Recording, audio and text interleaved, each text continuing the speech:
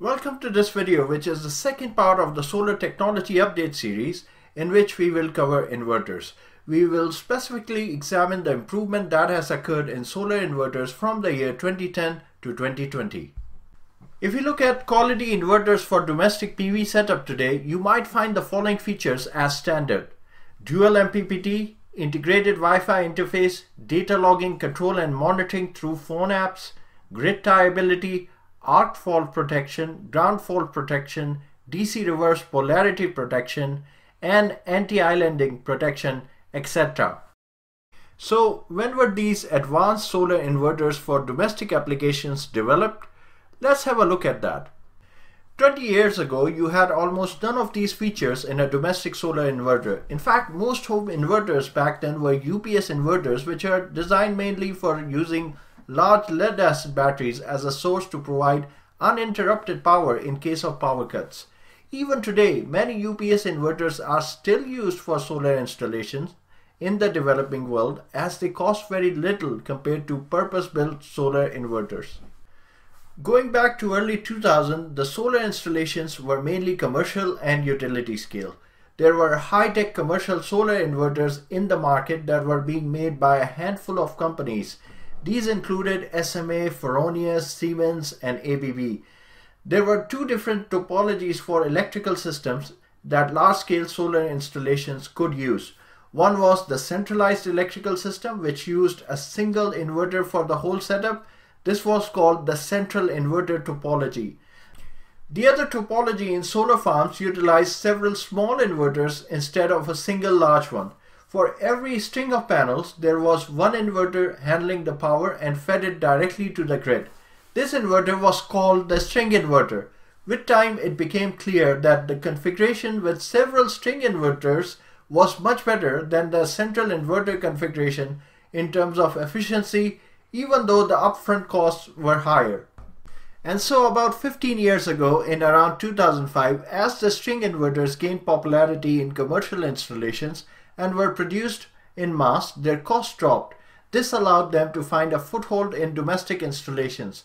So our modern domestic inverters are nothing but commercial string inverters with a few modifications. And this is where the term string inverter comes from. Now let's look at inverter technology development in the last few years. Before 2010, the inverters found in the market were classed as low frequency inverters and high frequency inverters. Low frequency inverters had an advantage of handling higher power spikes and were more reliable.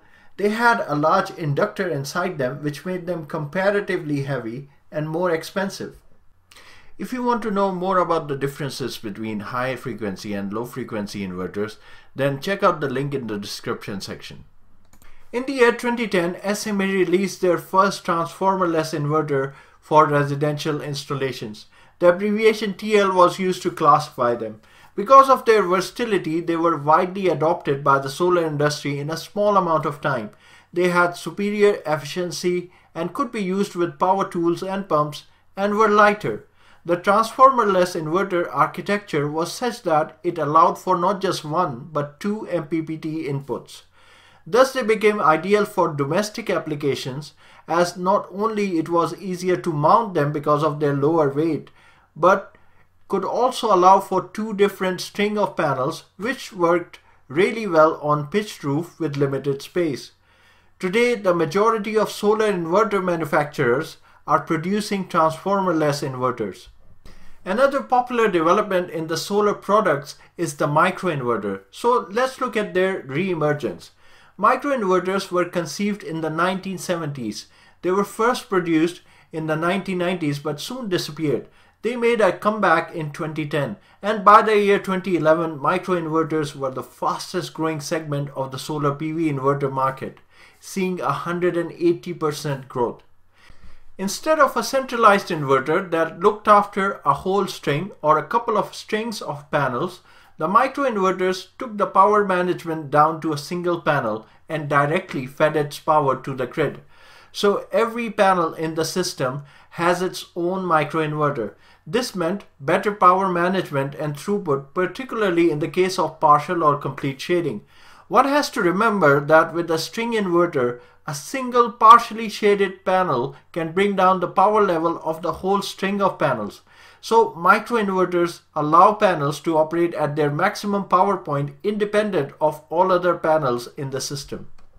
Essentially, microinverters did the same thing to string inverters that the string inverters did to central inverters a decade ago. That is, they became a better, more reliable, and more efficient replacement for their larger counterparts. However, microinverters haven't been able to completely dislodge string inverters from their perch, mainly because of their higher upfront system cost. The other problem they posed was the complex wiring, where instead of a single AC circuit leading to the grid, there had to be several AC circuits leading up to the roof and connecting to the grid.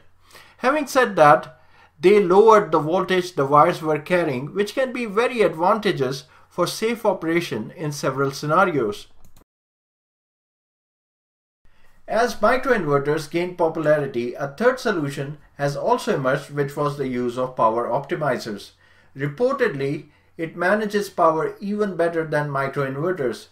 This solution was invented by the company Solar Edge in 2009 and became mainstream by the year 2013. The idea behind it is simple. If you look at a microinverter, it is essentially carrying out two functions. One is the MPPT or the maximum power point tracking, which is to maximize power from the panel for a given amount of sunshine falling on the panel. And the second is the inversion, which is the converting of DC to AC and feeding it to the grid. A power optimizer based system only performs MPPT at the panel level. It doesn't do the inversion.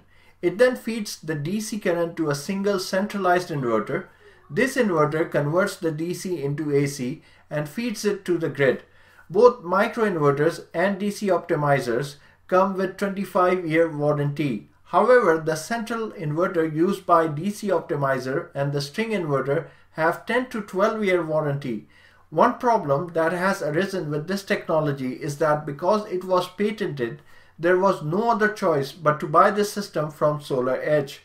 As the build quality of the power optimizer system wasn't top notch, many of their installation failed, which led to people dropping this technology despite its technical superiority.